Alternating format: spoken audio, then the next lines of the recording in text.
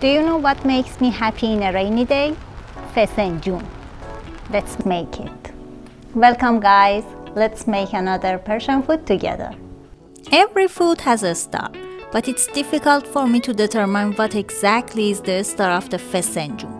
Of course, in many cities of Iran, fesenjoon is called walnut stew, so walnut is probably the main star. But in my opinion, pomegranate paste plays the most important role. The sweetness or sourness of fesenjoon depends on the taste of pomegranate. To start, put the ground walnut on low heat and when the pot is completely hot, I add a glass of very cold water. This shocks the walnut and causes the oil to come out. Then we will wait and wait and wait and wait. Now I take the chickens out of the freezer and while they are still frozen I make a few stills with a sharp knife. Then we will wait. I add frozen chickens to the walnut and with putting some ice to the walnuts, shock them again.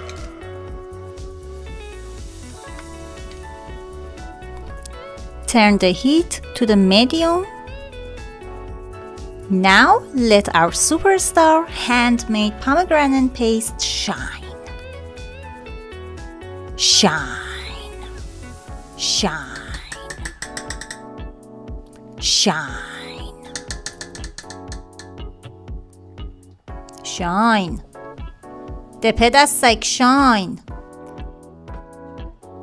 And since I don't follow the instructions very much and I'm not happy with the color of our star, I add homemade plum paste too.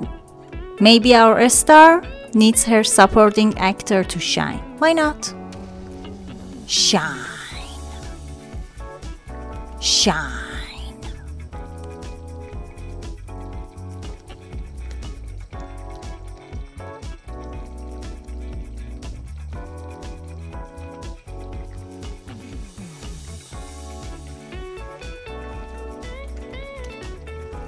Another cold water to shock the fesenjoon again.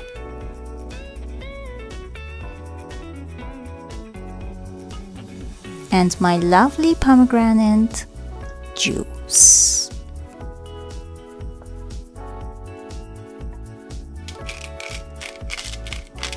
Salt and black pepper powder. And I'm not sure if everyone does it or not, but my mom used to do it, so I do it too. A tiny amount of Angelica powder, just a pinch.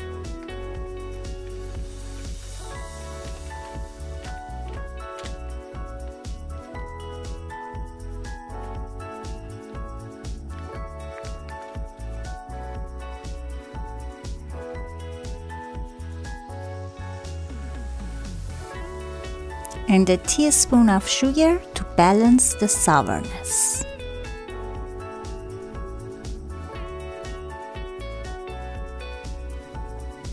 This stew should be left on the heat for a few hours to set. Then we will wait. And wait. I mean low heat.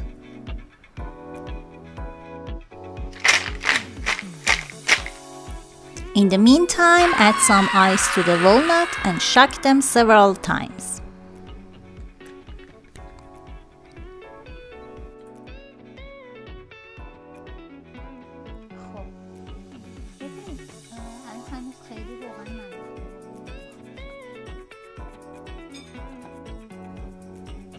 Look at the oil around those ice cubes. That's what I want.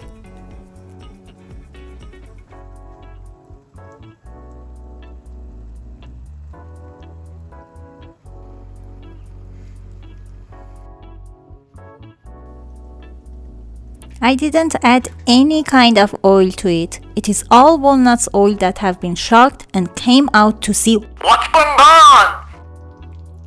A good fesenjoon is completed with rice and tahdig. I wash the rice very well with hot water until the water becomes clear.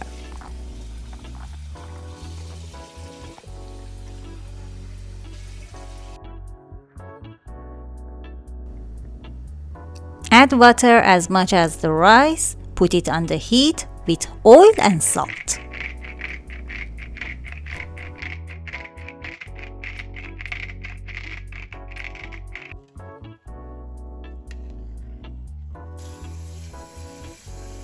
After 8 to 10 minutes, drain the rice. Be sure to pour cold water on the rice. Pour salt and oil at the bottom of the pot. Cover the bottom of the pot with any flat bread you have. And then add cooled and half cooked rice. At the end, make some little holes to give the rice room to rise. This step is a completely Persian way to cook rice, dam koni. I cover the lid of the pot with a clean cloth and put it on the pot. This will make the steam that rises from the rice stay on the cloth and the rice will cook better. In fact, we do not allow steams to escape from the pot. After 20 minutes, ladies and gentlemen, fesenjoon and rice.